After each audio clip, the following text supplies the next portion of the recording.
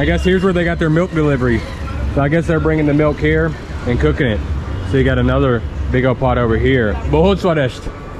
Man, so good. Very tasty. Number one dude. Yeah. How long you selling? How many years? 72 years. 72 years. This is Your grandfather. Yes, my father. Your father started. Yes.